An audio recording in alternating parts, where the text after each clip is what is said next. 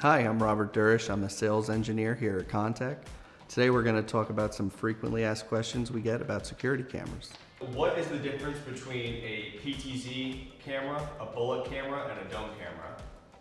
A PTZ camera is a camera that is usually a larger camera that's mounted outdoors, um, usually of a higher resolution, and it can be manually uh, moved by an operator or moves along some preset tours that are programmed into the camera. These also can uh, have external heaters in them uh, for that outdoor environment. Um, and the price point is usually a lot higher due to these features. Bullet cameras are fixed cameras that are usually used around the perimeter of your location. These come in a variety of uh, camera lenses that are, can be wide angle or long range. Uh, because they're fixed cameras, they can have analytics on board the cameras or be plugged into an NVR that can run analytics on them. Um, they're usually in plain sight, so they act as a deterrent along the border of your location. They're also uh, mounted on camera mounts, so they're uh, easily movable.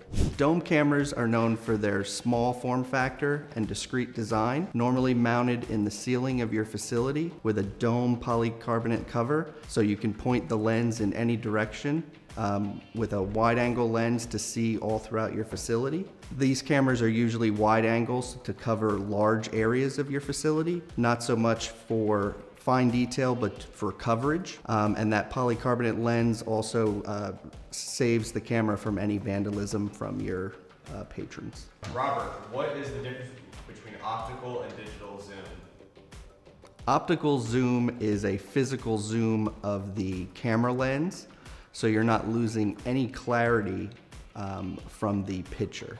Whereas a digital zoom is actually uh, zooming in on the, the pixels and you're losing image clarity. Robert, what is a megapixel?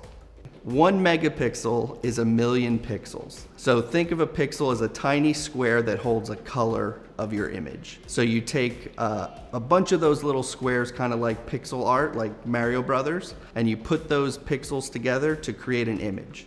So if you have an 8 megapixel camera, that's 8 million pixels that create that image. So the higher the count of megapixels, usually the better the clarity of that image.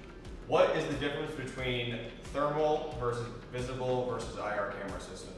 So visible light cameras or conventional cameras can only see what the human eye can see. So these cameras rely on natural light or artificial light to see what, uh, what the human eye can see.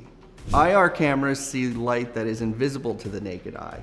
Limitations of IR cameras are that they have a short distance and they re rely on the reflectivity of the object they're looking at. Thermal cameras detect heat or thermal radiation that is emitted by all objects.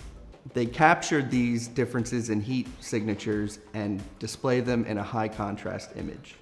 Thermal cameras work in complete darkness and are not affected by external factors such as glare, smoke, rain, snow, or other environmental factors. Thermal cameras are the optimal solution where you need coverage 24-7 or in harsh environments. All right, well that's it. These are some of the common questions we get. If you have any other questions, please feel free to email us at info at kontekindustries.com or visit our website at kontekindustries.com.